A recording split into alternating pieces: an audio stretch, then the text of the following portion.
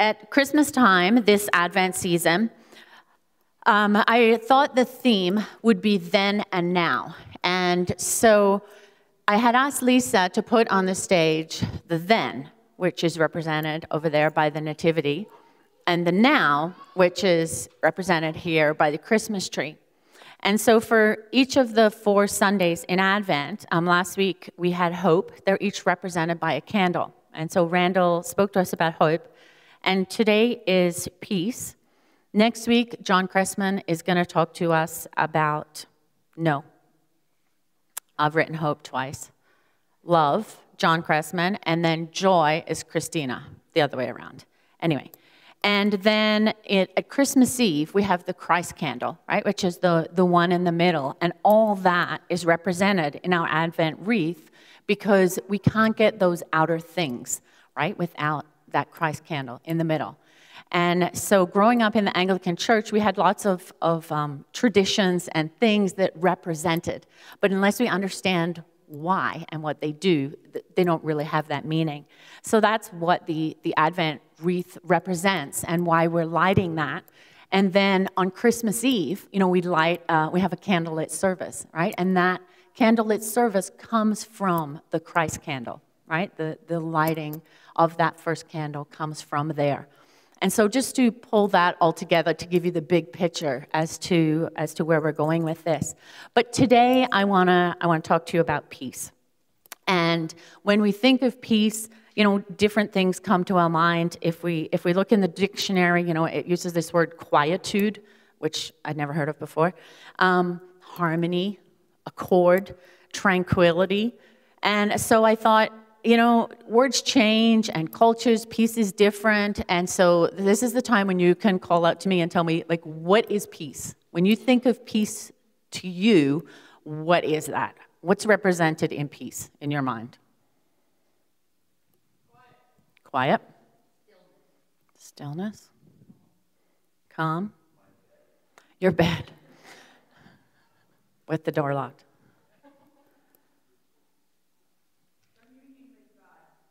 Communing with God. The word conjures up um, a lot of images, and you know, I can search peace, and, and this is one that, that comes up peace. So there's pictures like this, or there's pictures like this, or like that. Peace. You know, these are the things that come up when you type in peace. There's serenity, there's cattle lowing in the background. And so none of that is, is now, right? That was then for peace. And so now some pictures come up of peace at Christmas that look a little bit like a Hallmark movie, right? And sometimes, though, if you're not from North America and you don't want to sit by a hot fire, you might find peace like that. Um, the beach, coconuts, serenity. That's where we were last week. But the problem with this kind of peace is that it's a bit like our Facebook feed or our Instagram feed, right? It's, it's fake, just like Hallmark. Sorry, Hallmark movie lovers who, who love it, love that at Christmas. But I would like to smash your false sense of what peace is. And then I would like to restore it with the right things with what really will bring peace. Because you see, peace isn't circumstantial, peace is a person, the Prince of Peace.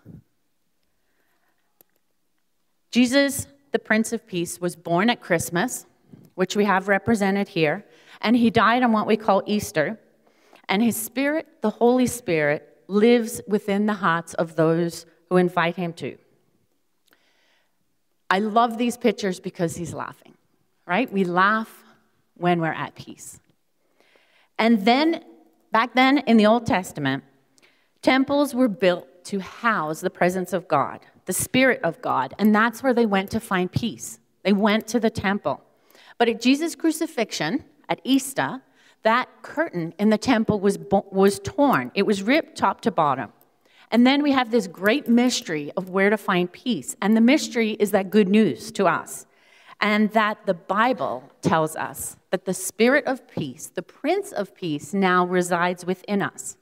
So now our peace now does not come externally, it does not come in a bond. It comes through the Prince of Peace living within us. It comes from that guy up there. So, no great vacation, no holiday destination, no amount of money in your bank account is going to bring peace.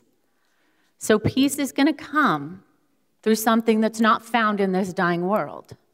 It's going to come from something that is not temporary. We need peace in something that lasts forever, that isn't going to end. And so, thanks be to God, we have it. As Christians, we have that. And in John 14, 27, Jesus said, I am giving you this gift peace of mind and peace of heart. The peace I give you is a peace the world cannot give. So don't be troubled or afraid. I want to read that to you again. Jesus said, I'm giving you, us, this gift peace of mind. We all need that, right? With the, the mental health crisis, the anxiety over the last few years, He's giving us peace of mind, peace of heart. The peace I give you is a peace the world cannot give. So don't be troubled or afraid. And in the next two chapters of John, Jesus says that he's the vine. He says, Abide in me. He said, They persecuted me, and so they'll persecute you. He says, Don't abandon your faith. The Holy Spirit is coming. He says, You won't see me in a little while, but then you'll see me again. And then he wraps it up in John 16, 33, and he says, I have told you all this so that you may have peace in me. Here on earth, you will have many trials and sorrows, but take heart because I have overcome the world. Jesus brought this speech right before his crucifixion. Why? Because we don't need a chat about peace when things are smooth. We don't need a chat about peace when everything's going well. Medicine is for the sick, and a talk on peace is for the anxious. We think of Christmas these days as peace on earth, goodwill to all men, holiday cheer.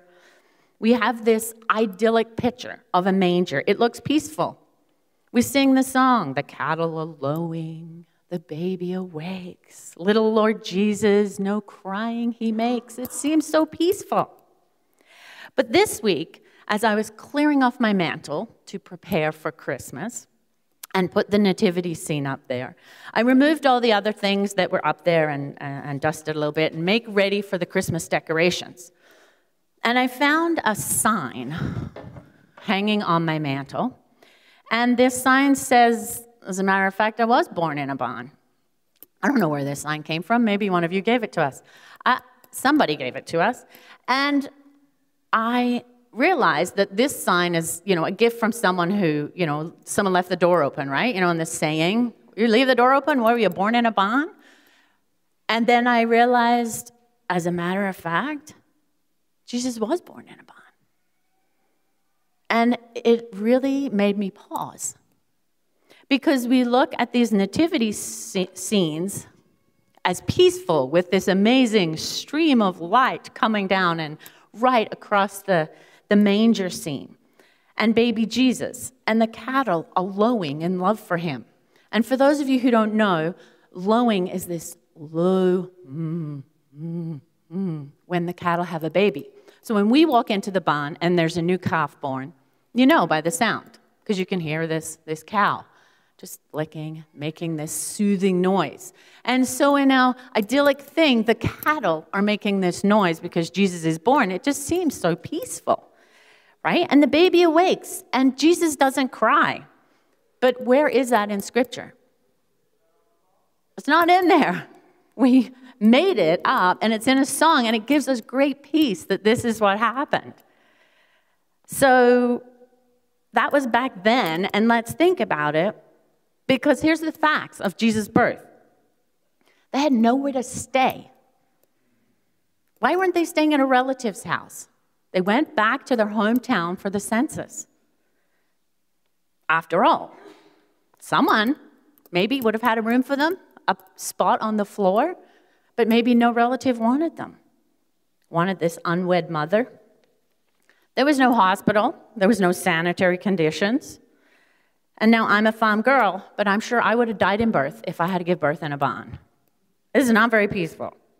And later on, there's a king who's trying to kill their son. And he kills a whole bunch of babies just to try and find Jesus. This is not peaceful. And yet the angels declared, Glory to God in the highest and peace on earth. And then this angelic announcement brings with it among um, a lot of stinky shepherds, right? And in they come, bunch of stinky strangers into your hospital barn room to visit your baby. The manger is a feed trough, the baby's bed. Now we have our unsanitary shepherds. We have no soap. We have no antibiotics. We have, ladies, no epidurals which is the peace of birth. No peace from the circumstances. So that was then. Now we think about now, and we have a Christmas tree, and we have our houses so beautifully decorated, and we watch Hallmark movies. But what's the trouble you're facing this Christmas? Probably your family, Probably the fact that they have to get together and all be under the same roof, that we don't all agree. We all have families, and they're all a little bit of hassle. They all have their issues, and we're all selfish, and we all want our part because it's our holiday, and this is our present, and this is the one that we want, and we want it to go this way, and we want the kids to be just grateful, and everyone just sits still and we all want what we want because it's our holiday. Whoa, so selfish. We have no peace when it's selfish. And so you all know whatever it looks like in your family, but it doesn't look much like a Hallmark movie. So, okay, okay, Libby, we talked about that, but what about that deserted beach? Right? That deserted beach, huh? That looked pretty peaceful.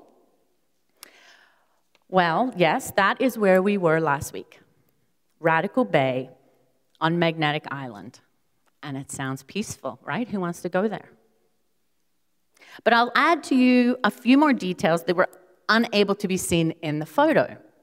Because, like our Instagram posts and our Facebook posts, they can look beautiful because we don't know all the details. And we can think this person has an amazing life and it's so peaceful. But we'll add to that picture that it was about 38 degrees. It was really humid. And Frank and I were literally covered in sweat because we had hiked for about an hour and a half to get to this radical bay at that point. And they had told us to go on what was called the goat trail. But we decided it was definitely the mountain goat trail, which it was. And Frank was muttering a lot of things about dying. And there was no phone service when we got there, and we weren't actually sure where the next trail was. But we knew at the end of the next trail was a bus to get back to the ferry, to get back to the mainland. And when we found the next trail, it contained 941 steps. The water contained stingers, so we couldn't swim in them or go for a quick dip to cool off. There was water everywhere, but there was none to drink, and we were almost out of drinking water. Peace. So, peace. Then, now, it will be elusive if we try and find it in the absence of trouble. Peace is not the absence of trouble. Peace is amidst the trouble, and it actually shines brighter in the trouble. So, how? The same way a light shines brighter in the darkness. Do you know the saying? No God, no peace? No God, no peace. So, if you're a Christian, a Jesus follower, the Spirit of the Prince of Peace lives within you. The Spirit of Jesus, the Holy Spirit, you are the temple of God. God is no longer housed in a temple like back then. Now, He has made His home in the hearts of mankind. The Bible tells us in Acts 6 David found favor with God and asked for the privilege of building a permanent temple for the house of Jacob. But it was Solomon who actually built it. However, the Most High does not live in temples built by man. As the prophet, which is from Isaiah 66, says, Heaven is my throne, and the earth is my footstool. Can you build me a temple as good as that? asked the Lord. Could you build me such a resting place? Didn't my hands make both heaven and earth? You stubborn people, you are heathen at heart and deaf to the truth. Forever must you resist the Holy Spirit. The Holy Spirit is once what comes to live within us. We don't want to resist that. We want Him within us. In Ephesians 3 17, it says, Christ will make his home in your hearts as you trust in him. That's our peace, it's within us. The Prince of Peace lives in our heart. So it's not external, and it doesn't matter what our circumstances look like. Then, at the first Christmas, life was in turmoil. It was not an external peace like our nativity scenes make it look like. It was an internal peace that although they had nowhere to stay, the king was trying to kill their baby. They were an unwed teenage pregnancy. Peace reigned. The Prince of Peace, who shines brighter all the more in the storm. Do you remember Jesus sleeping in the boat in the storm? This is the same guy who was born into a storm, in a whirlwind. The same guy who lives in our heart, who gives us the peace, who has overcome the world. Now, you might look around the world and think it doesn't look much like Jesus overcame. There's a lot of trouble, there's a lot of evil. Where's this overcoming? How, what did Jesus overcome? He overcame death.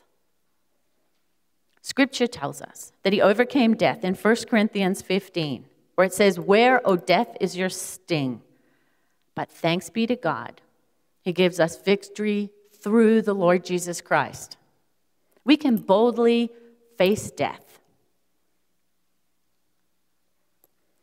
As we went back to Australia, my dad cannot walk, he cannot stand, he can't do anything. He says maybe nine words a day. And one day, as he's rubbing my hand, he said, God is good. Peace.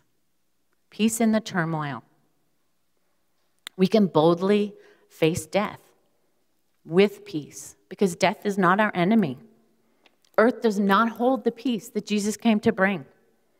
Jesus came to defeat death so that on the other side of it, we have perfect peace. And that is not sitting on a cloud with cherubim singing. No, it's, it's time with God. It's unhindered time with God and with those who love Him. It's to be in a place absent of evil, like in the Garden of Eden. They walked, they talked face to face with Jesus. There was no shame, they were at peace with themselves, with each other, with their bodies. As John read in Isaiah 9 7, his government and his peace will never end. He will rule with fairness and justice for all eternity. That is peace, never ending peace. So it started back then at Jesus' birth, and it will be forever in heaven. What about the now? The now, the peace in the storm. And we're in a storm. So I hope that no one has ever told you that if you become a Christian, life is going to be smooth sailing. You'll be healthy, wealthy, and wise. You'll live to be 100 and die peacefully in your sleep in your own bed. Because remember, Jesus said you're going to have troubles. Why? because we're not of this world, because the world hated him. It will probably hate us at times, but that doesn't mean we hate it back. Jesus washed his disciples' feet when he knew they would betray him. That's peace. How did he do that? Because he is the Prince of Peace. And the amazing thing is that you and I have the Prince of Peace within us. So wherever we go, we have peace. I know this Prince of Peace from my experience, from the most difficult time in my life when I had to go through radiation for six weeks. And I knew that every time I went through it, felt like someone hit me in the head with a baseball bat. I didn't want to do it, it hurt. I'd rather peace of no pain. I just don't want to go again, I'd say to Frank. And every time I'd go, I'd put on my phone and put the song what a beautiful name it is, the name of Jesus, as I would lie down. Peace in the storm. A peace that no one can take away, no matter the circumstance. The beautiful name of Jesus. So, a peace that goes with you into your imagined worst case scenario, which at that stage mine was getting radiation or a brain tumor killing me prematurely. Peace. When I was counseling youth during the pandemic, they had a lot of anxiety, as many of us did. And lots of people would say to them, Don't worry, it'll get better. It'll end soon. And I went to their house and would say, Maybe it won't. What? Maybe that's bad advice, but maybe it won't. Rather than saying, Close your eyes, Imagine yourself on a sandy beach, go to your happy place. I'd remind them of the Prince of Peace living within them. I told them that the power of angel armies, the Prince of Peace, is within me. So now let's imagine our worst case scenario. Instead of going to that deserted beach, let's go there. Let's imagine now the Prince of Peace with you in that worst case scenario. So for you, imagine it now. What's your worst case scenario? We all have it. We all imagine, oh no, if this thing happens, dread. Oh no, if my kid's this. Oh no, if my health that.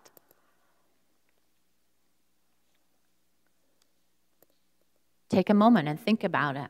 Is it finding out that you'll have a terminal illness? Is that your worst case scenario? Would it be finding out that we go back into lockdown? Or would it be like Shadrach, Meshach, and Abednego, and you're going to get thrown into a burning fire?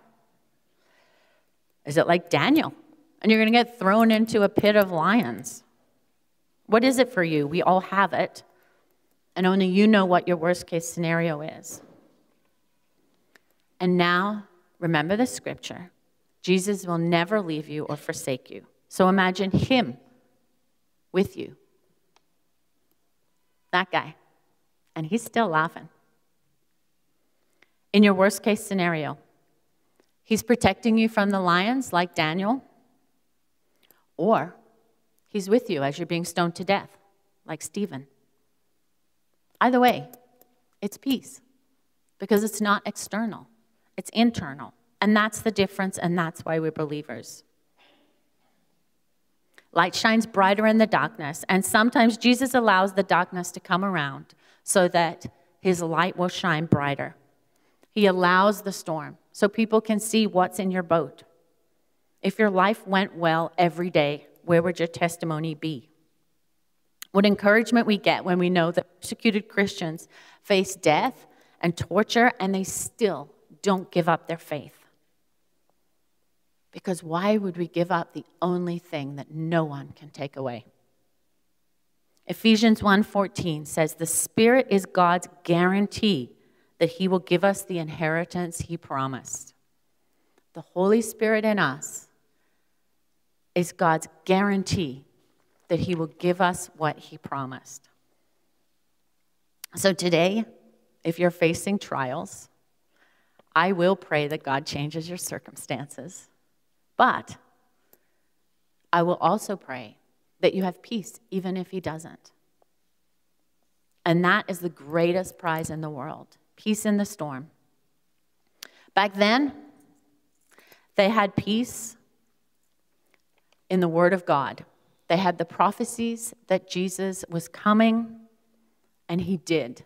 He was incarnate, He came. Now we have peace in the Word of God. He will return. We have peace in the trials of life now because of the Holy Spirit in my heart, the Prince of Peace. So don't get me wrong. I'm not saying that everything's going to go well and you won't get your feathers ruffled. It might not look a little ugly. You may sweat. You may sweat drops of blood and pray like Jesus did Take this cup from me. But then Jesus also prayed, But not my will, but yours be done.